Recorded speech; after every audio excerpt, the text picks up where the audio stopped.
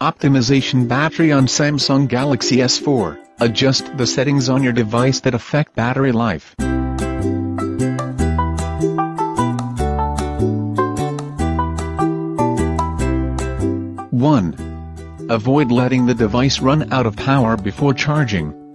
This will shorten the battery's lifespan. 2. Turn off any services that aren't currently in use, such as Bluetooth or Wi-Fi. 3. Set the device to automatically adjust brightness.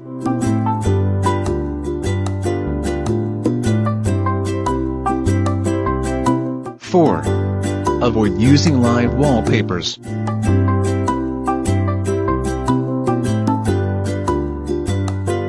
Five. Tap the power saving mode switch to turn on power saving mode. 6. Tap the mobile data checkbox to turn off mobile data. 7. Tap the location switch to turn off locations. 8. From the home screen, tap Play Store. 9. Press the menu key.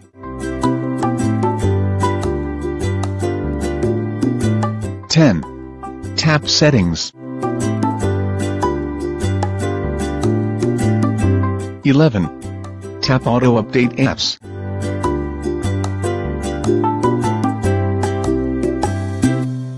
Twelve. Tap Do Not Auto Update Apps.